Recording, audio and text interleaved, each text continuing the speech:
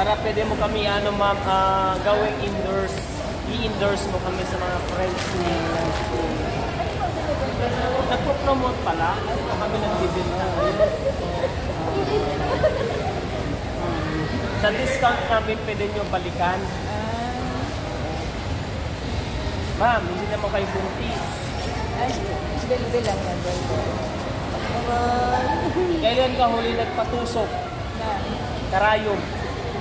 Ay, ako? Oo. Isang araw. Nagpa-blood chem. Nakuha mo yung resulta. Ano lang naman yun sa akin sa hemoglobin? Ikaw, ma'am. Ay, matag... Kailan ba yun? Ba yun? Pero ngayon wala pa. Sige, sukatin ko uric acid. Wala na ng mga pag-uusira. Wala. Yan. Nakasipit na yung mga paa. Yan. Para sa tumutusok-tusok. Sabihin mo yung nararamdaman mo dito na ha. Ako wala. Wala pa? Yan. Napipil mo na. Ay, oo, meron na. Sabihin mo pag nandito na mama.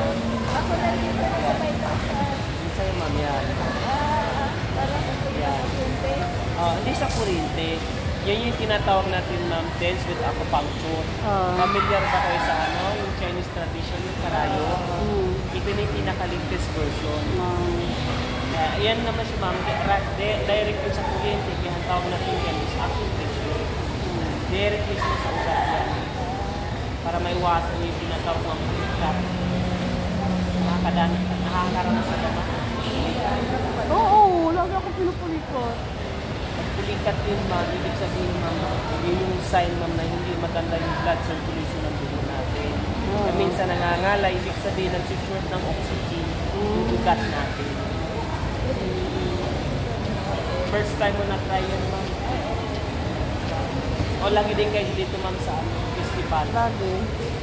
Kaya ako hinaharang dito ng mga nandito eh. Ay, ibig sabihin nakikita mo kami dito. Oo naman, lagi naman ako din dito. Pero ngayon ka lang nakaupo. Oo, kasi nakulit ka. Ibig sabihin ma'am, swerte ko pala. Oo, kasi lagi kami, pag nagpa-park kami, diyan ako nagpa-park eh. Dito talaga kami nagaan.